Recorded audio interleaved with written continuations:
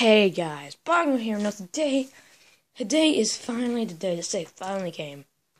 Today is my one year anniversary on YouTube. Yes, my one year anniversary. My channel is officially one year old.